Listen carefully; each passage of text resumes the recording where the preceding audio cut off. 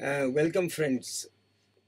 Uh, we have been uh, trying to understand the basic idea about uh, microplanning, and as you know, that uh, this whole idea, concept, and practice of microplanning is the essence of development economics. And we have three continuous modules on microplanning. In the earlier module, we have defined microplanning. And not only we have defined we have given you, you the justification the need the urgency the significance the importance of microplanning.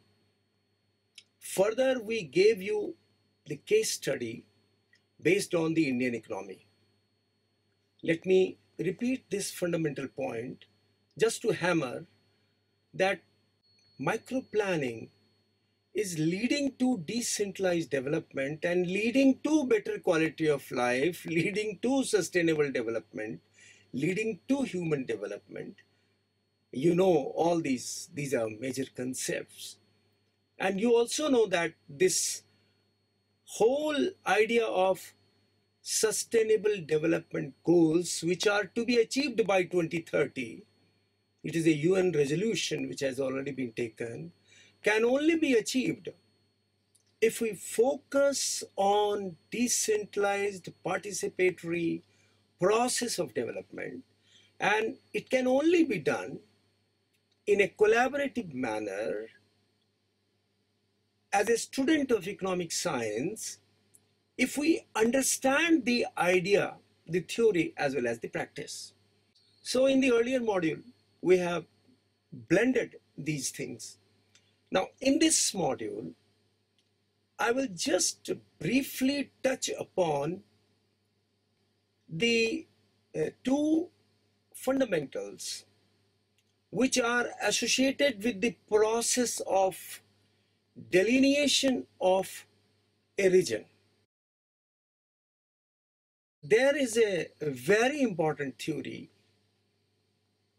called central place theory given by a very renowned geographer in the beginning of the 20th century. And his name is Christaller. And it's a beautiful theory. And uh, if you, on the basis of understanding of this theory, you will be able to correlate with the earlier module. And very importantly, it will help you to really initiate to really conduct some of your dissertation and future research studies. So we will talk about briefly about this central place theory. In addition, and again it's very important idea about the propulsive impact of economic activity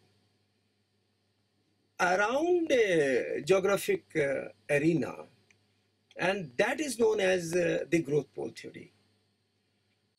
Uh, if you say that growth pole theory is a very unique idea which was initially developed by a French economist called Perroux.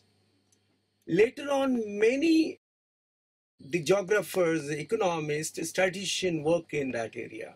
It is an important issue which is also concerned with the governance aspect.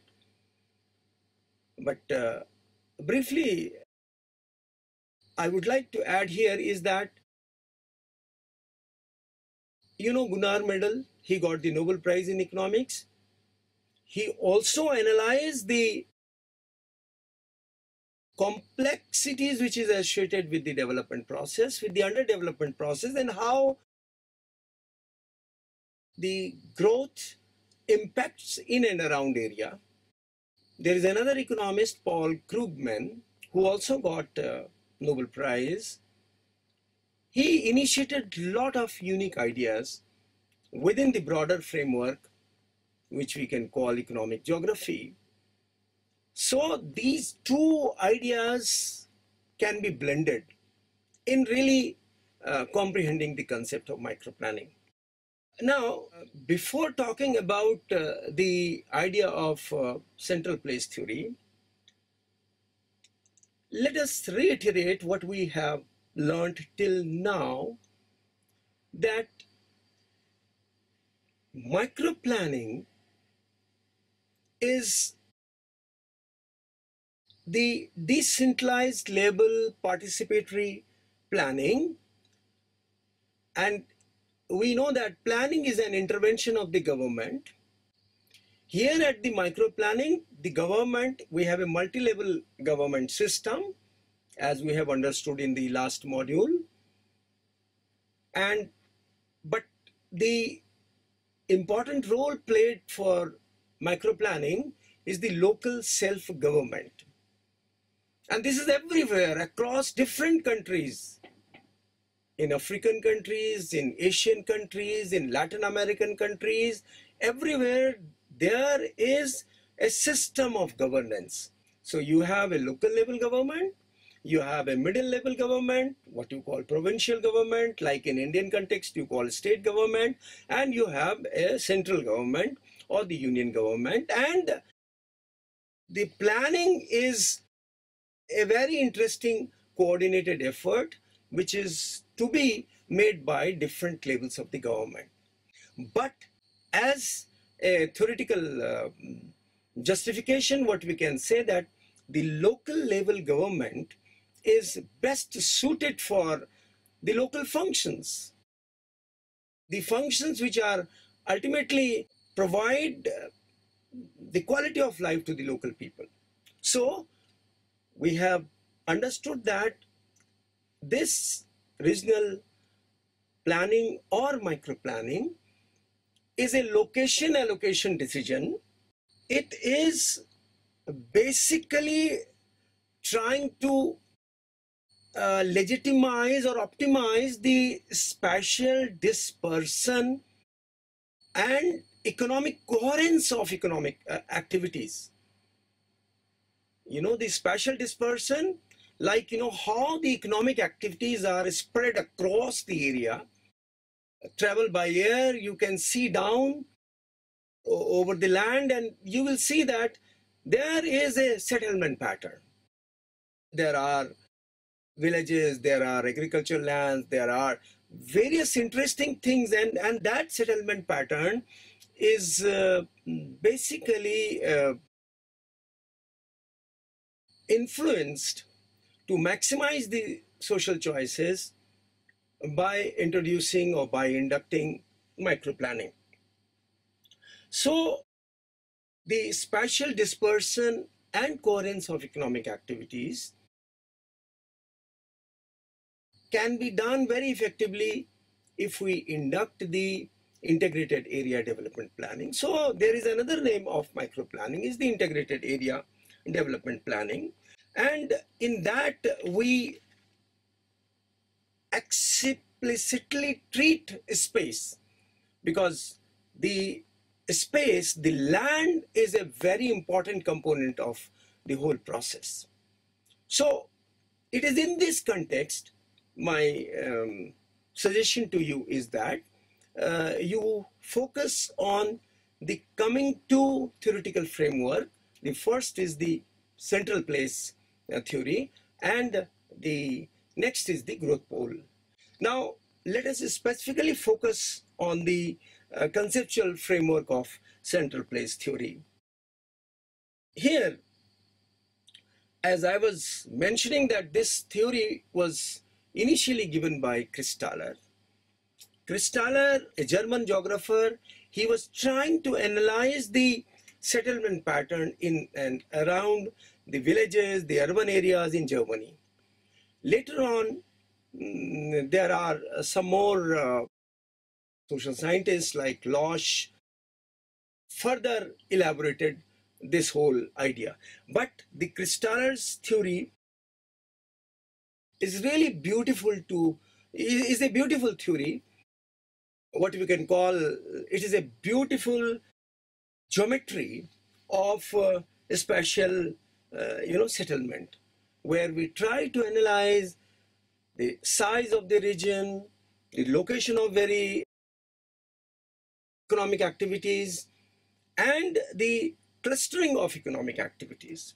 So before we talk about this whole settlement process which ultimately leads to delineate a region and that ultimately helps the government for uh, planning intervention at the local level. So first important point here is that if you see any space, any land area, so you have to identify a central place. So which means central place theory, the first important dimension is that you have a special point over the land which is delivering the various economic functions or you can say various uh, social functions and so the center is fulfilling the social and economic requirements of the center itself and the adjoining area because that itself is a very important uh, mm, concept. So this is the first point. Second point is that the central place theory assumes that a central place and the adjoining region means that a central place along with the adjoining region is having a larger area which means that the node which is the central place itself is not complete it has certain dependent settlements which are located around the center. So this is the second important point that the area larger than central place is served by a central place. There are roughly we can say in a very relative term central place is an independent settlement whereas the other lower level central places are dependent settlement for various functions. So which means that there is a settlement hierarchy. Suppose there is a village and the villagers go for health facilities to adjoining town. So town is a central place providing a function to the villagers and villagers are going to the town for getting the health facilities. Similarly, for marketing facilities, for uh, education facilities, for so many other kind of facilities. So this is the second important point. The third important point is that central place is an important place because it is important in many ways. It is economically important in terms of population density there is a larger population, but the size of population itself is not important. If you see uh, the whole ecological setting of central places, there are mountains, there are there, there are deserts, there are coastal areas, there are islands. These central places are there everywhere but they have certain unique features which is associated with the, its importance. Importance basically, we can say it is not the size itself of the central place, it is basically the functions which are delivered by the central place to the dependent settlements. Larger the central functions, larger is going to be the importance. The service delivery extended by the central place is more important. That shows the importance. Now the fourth point is that the central place is the source of various goods and services. That itself is very important, which means that there are certain services which are available everywhere. And there are certain services which are not available everywhere. That's uh, very important. The goods and services which are not available everywhere are located at the central places. In a very simple sense, this is the meaning of uh, the sources of goods and services which are extended by the central place to the dependent, uh, you know, settlements. Like, you know, I can give you one example. Uh, suppose the primary health services are available maybe in some of the villages, but suppose I am suffering from a major disease, you know, and some very complicated operation is required for that disease, then definitely for that particular functions, I am dependent on the central places. A bigger town where a big hospital is there. You can imagine wherever you are that how these functions are being delivered. Take about education. Okay, suppose a primary school, schools are located maybe in some of the areas like in the mountains, like in the coastal areas, like in the islands, even there is a problem of locating primary schools because you do not have the number of minimum you know number of students. So that is called the threshold population which means that for a particular surviving for a particular function you need a minimum population. Like you know suppose i am a shopkeeper. I i need a minimum number of uh, consumers who can purchase so that i can at least uh, enjoy my little bit of profit. Otherwise, I will shut down my shop. So that is the fundamental principle, and this is called the thresholds. And uh, the central level functions are, in a very simple sense, not available everywhere. That's why the people who are living in the dependent settlements or in a very simple sense, we can say the people who are living in the villages are visiting the urban areas for uh, various marketing functions, health functions, educational functions, various other kinds of functions, even judiciary functions, even police functions, and lot of other things are there. The fifth uh, important point is that uh, that is central place is having a complementary region. The region for which development planning is being done at the decentralized level. You may just recall that in the last, in the earlier module, what we have done. We have identified various types of region. One is called homogeneity based region, other one is called functionality based region, and third, where you try to blend homogeneity and functionality is called the planning region. But the basic uh, idea about central place theory is that it talks about the functionality dimension, which is more important. However, the homogeneity dimension is uh, also relatively important. I can give you one example like, you know, homogeneity dimension means suppose you are in the mountain area, suppose you are in the desert area. This is homogeneous area, but within that area you have to see which are the functional central points. And uh, that itself is very, very important. So the idea of complementary region is ultimately to delineate the boundaries. And central place theory tells us by using a simple geometrical framework that how the boundaries of a complementary region or complementary area are decided on the basis of the central place theory.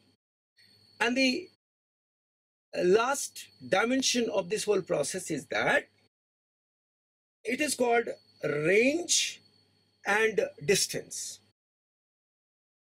range and distance both are the same thing anyway, which means that if there is a cent central point, how far, you know, people of the complementary area are located, those are coming for getting various services.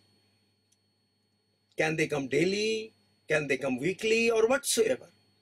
But it is decided if you leave everything to the market, it, it is decided based on the cost effectivity based on a lot of other things. So here in that, in this context, there is a special range of central place. So range is basically the distance from the central point.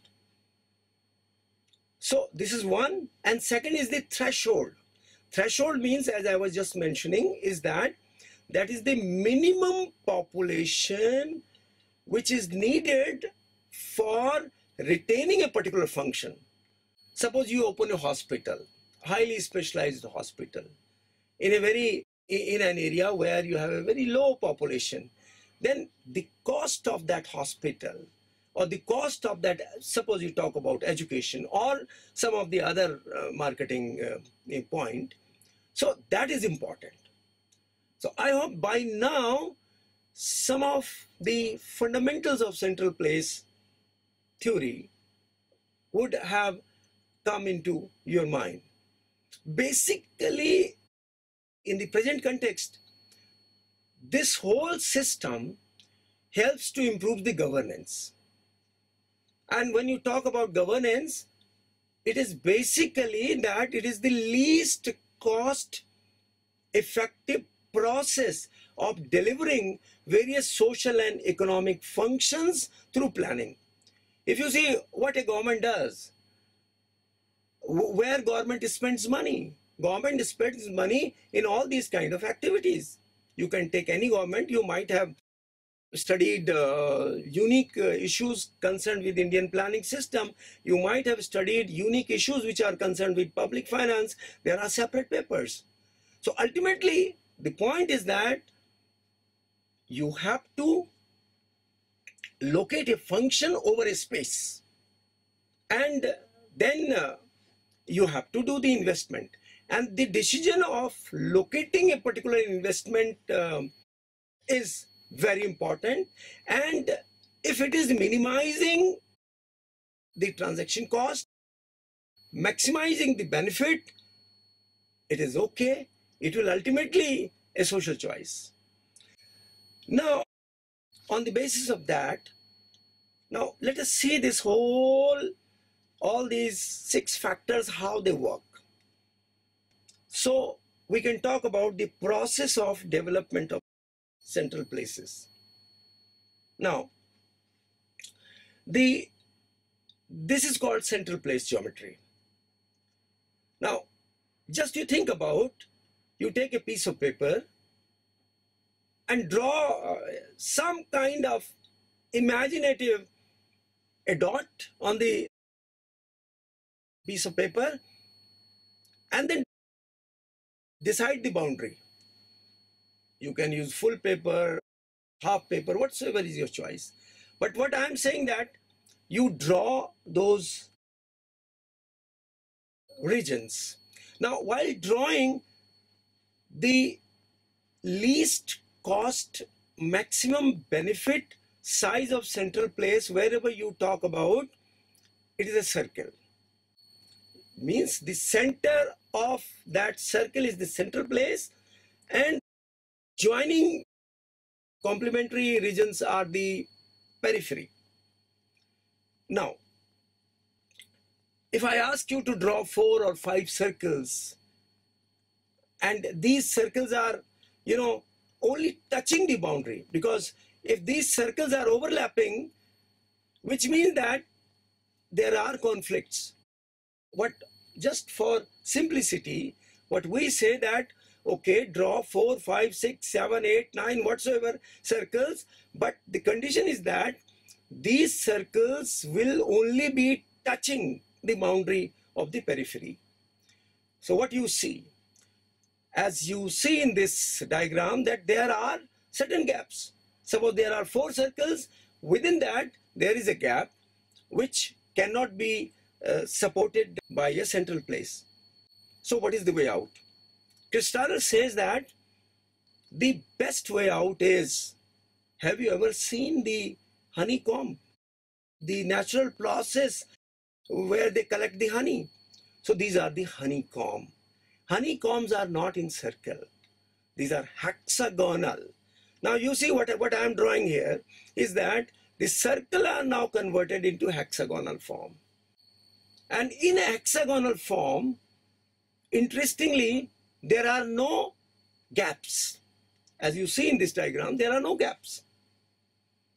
So this whole system, and when you talk about hexagonal forms, it is means six triangles are fitted.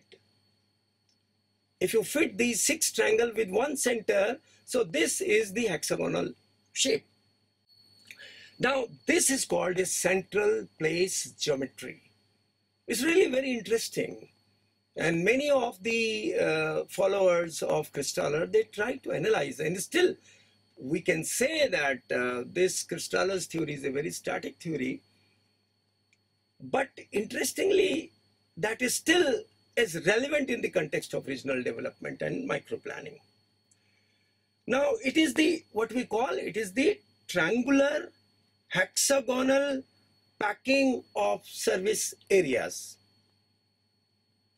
Triangular, six triangles, putting in a hexagon, just you see in this diagram.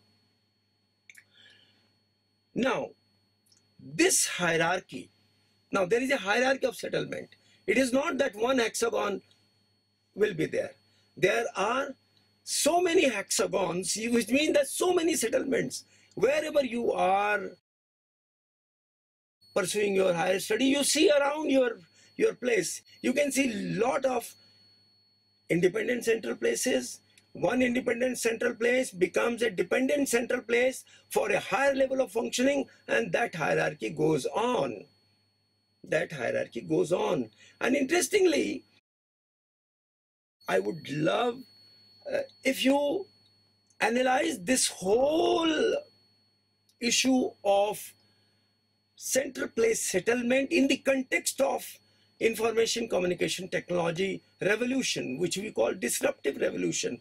How the whole process of centrality has been disrupted by the ICT revolution. That itself is a big area where I hope that someday you, you produce one very unique uh, theory on this idea. So I'm just provoking you.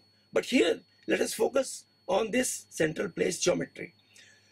The triangular hexagonal packing of service area is decided by what Christaller calls K value. Roughly, there are three types of uh, hexagonal uh, packing. Or what we can, can say that there are three principles to decide the hexagonal packing. The first principle is called marketing principle. Second principle is called transportation principle. And third principle is called administrative principle. Now the marketing principle where the K value is 3 and the transportation principle is that where K value is 4 and the administrative principle is where K value is 6 now, if you see this hexagonal pattern here, is that the region is, the central places decides the region which is in a hexagonal framework on the basis of marketing principle. Marketing principle basically is minimizing the cost. And there is a system there is a system, but system is based on the K value. The second important uh, principle is called transportation principle. Now, there is a little difference in the marketing and uh, transportation principle. You see is that all the six points of hexagons, you are drawing a straight line and these straight lines are the transportation routes, which means that the K4 value is basically decided by the direct transportation routes between smaller settlements as you are seeing in this diagram. So, which means that between two smaller settlements, between the transportation direct routes, there are bigger settlements which are located. Uh, basically, the transportation principle and marketing principles, ultimately these are the two varieties of deciding the complementary area of the region or of the central place.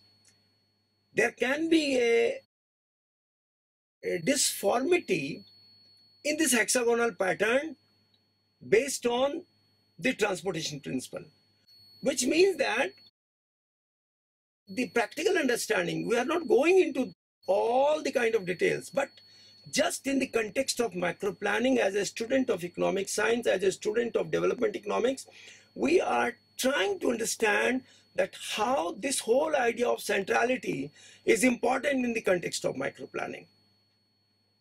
So this transportation is a very important.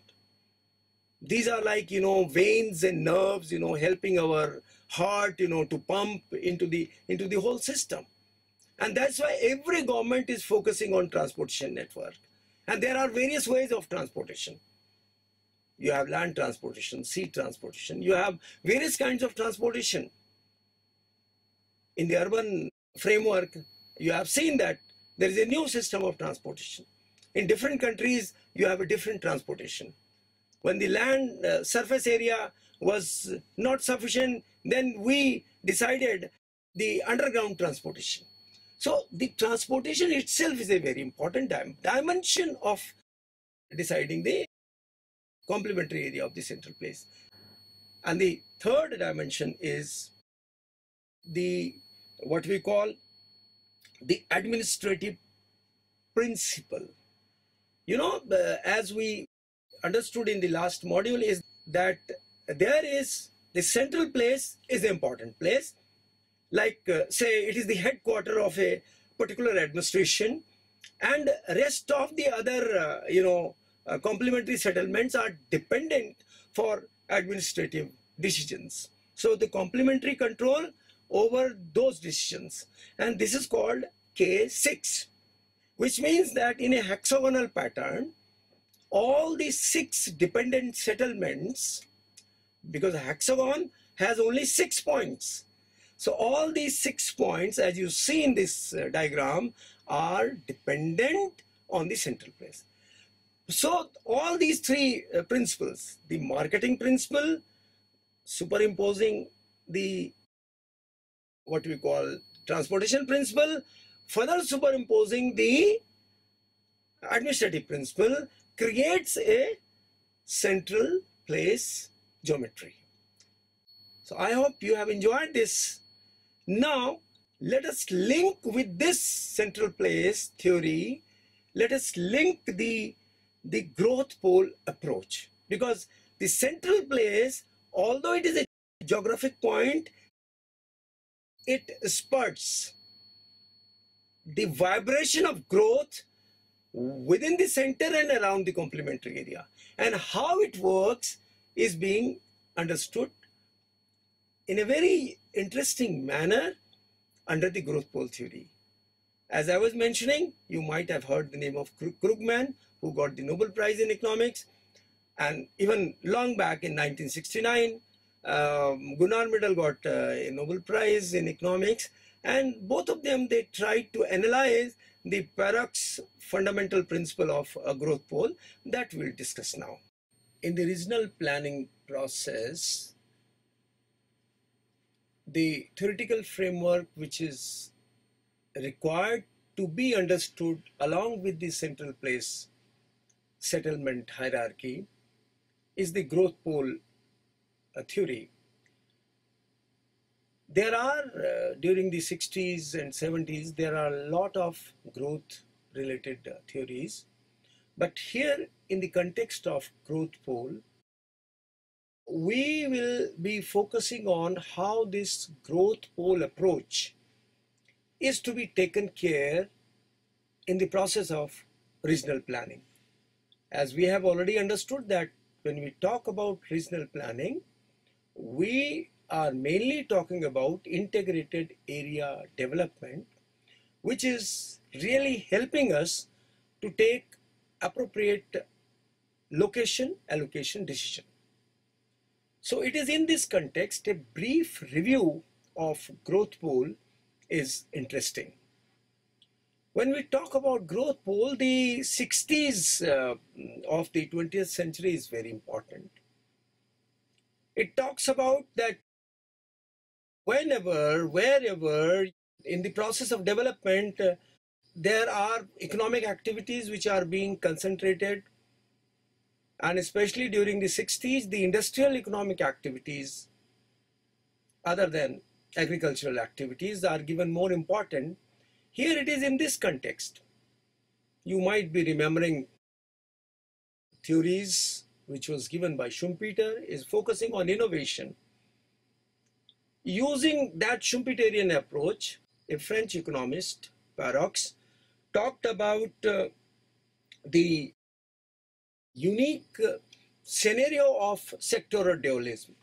What he, he was talking about a growth pole idea that within a particular sector or within a particular industry, there are certain propulsive industrial forces, which means that there are, there are certain factories, certain firms, certain industries which take lead in the process of development. And that creates a kind of imbalance. And uh, this kind of imbalance we can say it is a kind of backwash effect within the system. Means that there are, like, you know, it is a kind of balance and unbalanced theory of development. So initially, there is a kind of backwash where one particular economic activity takes the lead in really development process. However, it has its positive impact in the long run and then we can say that there are certain spread effects where the income and employment in the other sectors, in the other activities, in the other industries also increases. So this was a basic idea which has been floated by Perroux based on Schumpeterian approach of innovation. There was a geographer during the same phase of 60s. Boudeville converted this idea over the geographic space. What he was saying that uh, the the location of a particular lead firm or lead sector creates a kind of regional imbalance. So the dominant industry or dominant economic activity firm locate at a particular point and that creates a kind of uh, backwash effect. And the backwash effect ultimately leads a kind of imbalance in the development process within a particular region where the functional nodes we know that uh, functional node or an urban area or an area which is providing goods and services to the periphery, its development becomes more faster than the complementary region. And this whole process is in the time sequence, this process start percolating in the periphery area, in the complementary area, and uh, the benefits are being used by the complementary area in the other sectors and so on. So I think in a very classical sense, it says that initially there will be backwash effect because uh, there are various factors for backwash effect which you can call about economies of scale, which you can call uh, about uh, the uh, locational cost and other things. But gradually in the process, the, uh, the spread effect is visible. In this sequence, there are two Nobel laureates who played a very interesting and important role. One is Gunnar Myrdal. And Gunnar Myrdal again talked about uh, theory of cumulative causation or what we can say that uh, it is circular and uh, causal interaction among various forces which creates a kind of enclave and periphery situation. He used a very interesting word called enclave where which are to be formed at the particular functional nodes. It can even be seen in the broader development process. And what he was saying, especially during 1957 and 58, there are a lot of publications where he talked about uh, the backwash effect, which is creating uh, imbalances, and uh, the spread effect. But he was more concerned about the cumulative causation of backwash, backwash effect, which are more concerned with the enclave formation. You are fully aware that Gunnar Myrdal was institutional economist and his whole approach is known as institutional economics approach where he said that this whole process of circular and uh, causal interaction leading to a cumulative causation of in, uh, enclave formation and regional imbalances is mainly caused after blending the economic and non-economic uh, factors. And then, uh, you know, we can say that the institutional factors, where the attitude, the work culture, and a lot of other things are there. So the contribution of Gunnar Myrdal, which is ultimately in today's context, we talk about the governance. It is the economics of governance, the process of management of the things, and lot of other issues are important in the managerial system. So Gunnar Myrdal talked about the role of non-economic variable, which is the attitudes in a particular system, as you might be knowing that a man is poor because he is poor. So this kind of attitudinal framework is interesting and that is uh, a very unique contribution of Gunnar Myrdal. In this process, again, the Hirschman is talking about that there are, in the process of regional development, there are certain negative forces, there are certain positive forces. Negative forces creates the concentration of economic activities, whereas the positive forces creates the positive impact over uh, the economy. And uh, basically, it uh, talks about a lot of um, other important economic factors. In this process, there are a lot of uh, other contributors, but uh, a very interesting uh, point has been um, raised by another Nobel laureate, Paul Krugman. Paul Krugman again gave a new idea to this whole complex uh, phenomenon of uh, regional development as a new economic uh, geography where the comparative advantages are being analyzed uh, within the region and uh, between the region and uh, the core and periphery relationships are also being analyzed. Krugman is again, you know, in a, a reiterative form, but uh, in a more deeper way of analysis, he said that there are uh, what we call centripetal forces, means, you know, the forces which are creating inequality in the regional uh, framework, where the concentration of economic activities and reverse to it, there are centrifugal forces where you see the diffusion forces, they having the spread effect. And what he was saying that these both the forces are acting simultaneously. And ultimately, the impact of these forces can be seen on the process of regional development. Now, ultimately, when all these forces are working, you can see the migratory process of the labor, locational advantage of various economic activities, expertise of the labor forces, ultimately the competitive environment, and all these forces have a cumulative impact on the original development framework or this particular framework is further impacted by various um, you know aspects. Ultimately what we can say that uh, in krugman's understanding is that in the initial phase we see the backwash. Backwash uh, because there are certain comparative advantages which are reducing the cost of production compels a particular economic activity or a particular firm or a particular industry to locate at a particular point.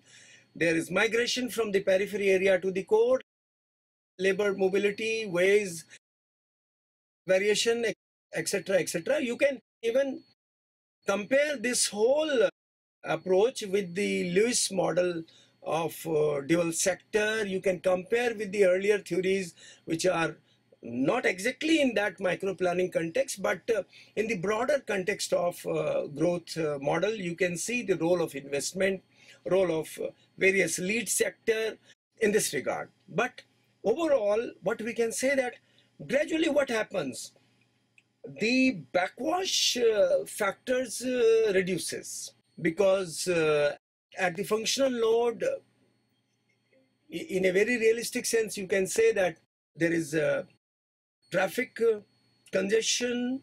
There are a lot of other environmental aspects which are associated with that. Many times the firms, they prefer to go out of the node to the complementary area. It, it happens like this, maybe because of good transportation network, maybe because in the periphery area, you are getting a cheap labor. So there is a wage differential and you wanted to maximize your benefit on the basis of wage differential. So ultimately, the firm tries to analyze the overall cost impact of all the agglomerated and non-agglomerated factors. So the transportation cost plays a very important role. There are certain other aspects like transaction cost and so on.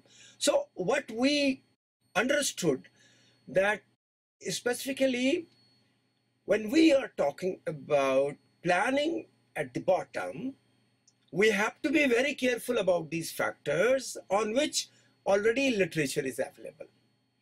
Now, all these uh, aspects although are complicated, but in this simple diagram, let me summarize it that you see in this diagram, it is a it has been drawn on a temporal framework. You have uh, the backwash effect, which is shown with the negative sign. You have a spread effect, which is shown with the positive sign. And now what you are seeing that in the process of uh, development, initially there is a backwash effect and uh, there is extreme backwash, what we can call that extremely polarized, unbalanced kind of uh, framework. And but gradually the backwash forces started reducing and the positive spread effects as we have already discussed started playing a very interesting and very positive role. And gradually the line which uh, slowly you just see going upwards and there is a what we can call there is a point that is a zero point. So the zero point and the starting point as you see in this particular diagram generally people say that it takes five to seven years but not guaranteed that five to seven years depends on the process, the political economic aspects, and uh, so many things that we have already mentioned. And then after that, the curve goes up. It is almost a S curve you see in this uh, diagram and this is called net spillover curve and that is the overall impact of the development. So in a nutshell, the growth pole theory is a very interesting theory. It can be understood in the broader context. However, in the context of regional development and specifically in the context of microplanning, the understanding will really help you to comprehend the whole complexities associated with the process of development and this is one of the major problems being faced by the underdeveloped countries, specifically in Asia and uh, Africa uh, subcontinents. Now you can also see the issues which are concerned with migration, the issues which are concerned with urbanization, the issues which are concerned with the environmental degradation and so many things, the pollution and so many other aspects which are important in this process. And especially if you see there are two ways. You can talk about microplanning even without understanding these factors. But the understanding of these factors will make you more, you know, confident to think about. Even you can browse a lot of other resources which are already available under the name of uh, the most prominent economists that we just talked about. So, in a nutshell, now let us summarize this module. What we have done in this module, a continuity with the earlier module, what we have understood, we have understood that the geography, the spatial dimension plays a very important role in regional development and regional planning, which is very important we have analyzed the central settlement theory. It's a beautiful geometric way of understanding the development. And we have seen that how the threshold, the range, the distance, and other factors are very important. And how the regional delineation takes place, the boundaries takes place role of transportation, a role of availability of raw material, availability of the labor forces, availability of the capital. All these factors are important in this context. And then we have analyzed a very, in a very simple sense, the growth pole approach. And this uh, growth pole approach is to be understood properly so that as a regional planner, we can take or the government can take appropriate decision which are concerned with locating a particular economic activity so that it can maximize the social choice. You are fully aware is that we are passing through a very unique transition where you have climate change, where you have disruptive ICT revolution, where you have keeping in view the democratic processes. The people are vocal and people are demanding quality public services. And all these factors, if you blend all these factors, these factors can be covered within the broader umbrella of the social, of the sustainable development goals for which the United Nations have identified that all these sustainable development goals are to be achieved by 2030. And the, in this achievement, the, your understanding, comprehension, and your role in really providing some of the good case studies concerned with microplanning can really help all of us.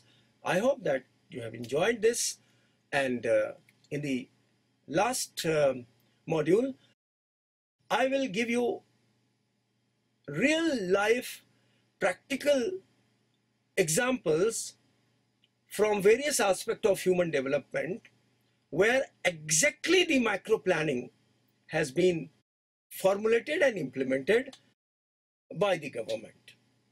So thank you and all the best.